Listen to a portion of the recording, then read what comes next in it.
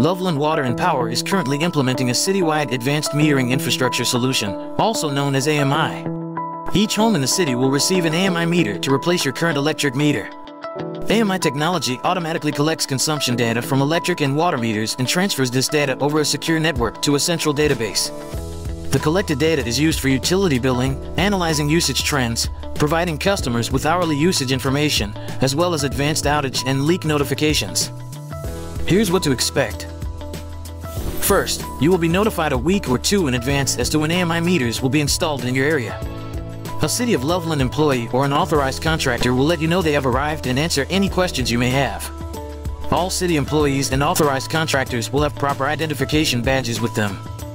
Also, please note, no one has to be home during the replacement as all work happens outside your house.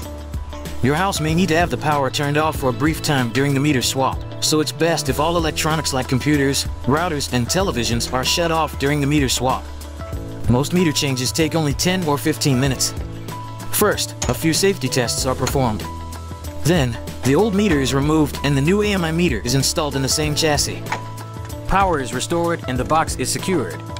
That's it. Now you're ready to join all of us as we enjoy the efficiencies and near real-time information that AMI technology brings.